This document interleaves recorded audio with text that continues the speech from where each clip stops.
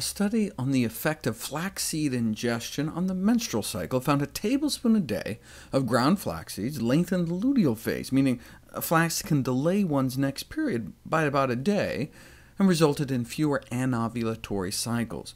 Uh, these are the same kind of improvements in ovarian function seen in women eating plant-based diets, a longer luteal phase and fewer anovulatory cycles, fewer failed ovulations an indication that vegetarian women have fewer disturbances in their cycles.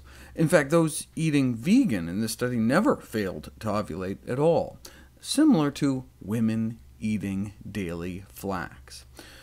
Since those same hormonal changes associated with eating plant-based diets seem to improve premenstrual and menstrual symptoms, such as breast pain, maybe flax seeds would help too. The effects of dietary flaxseed in women with breast pain associated with their cycles. Although hormone treatments, such as tamoxifen, may be helpful, they often cause unpleasant side effects, and there may be risks associated with long-term use of hormonal therapy.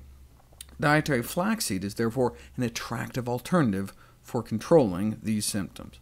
So, 116 young, young women with severe cyclical mastalgia, severe menstrual breast pain, over a pre-study period of six months, were randomized in a double-blind manner to either a muffin containing about 3.5 tablespoons of flaxseed or a placebo muffin, and followed for a few cycles. Uh, there was some placebo muffin effect, but there was a significantly greater reduction in reported breast pain, breast swelling, and breast lumpiness in the flaxseed group. It is concluded that flaxseed is effective in relieving symptoms of cyclical mastalgia without significant side effects, and might be considered an alternative treatment for cyclical breast pain.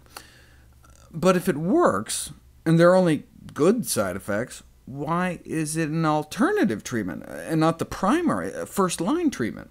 Well, the American Congress of Obstetricians and Gynecologists has not issued treatment guidelines, but the Society of Obstetricians and Gynecologists of Canada has. They first dispel the myth that caffeine is to blame, or that you know, vitamin E supplements are helpful.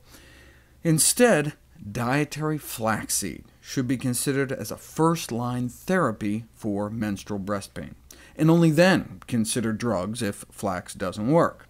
Oh, and breast pain should not be treated by use of mastectomy.